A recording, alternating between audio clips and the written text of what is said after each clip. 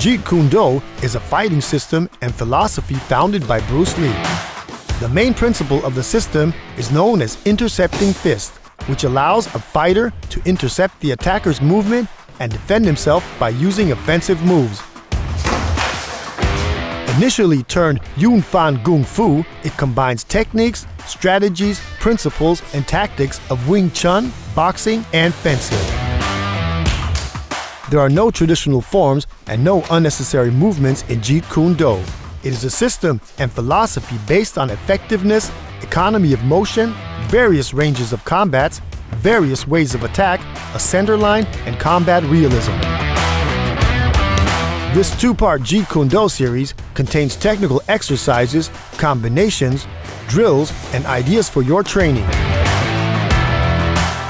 In the first part, we demonstrate methods and applications to train basics while standing or on the ground, footwork, and essential punching and kicking techniques. Different composite attacks and advanced defense and counter techniques are demonstrated with the focus mitt. In addition, there are exercises shown to learn continuing techniques after a successful defense. The second part starts with warm-up exercises in the sections of reaction and endurance and clinch position drills. Then, basic punching techniques in close distance and also the use of elbows, knees, and head are demonstrated with focus mitts. An important part of this film is the going into the clinch and also the transitions in this range.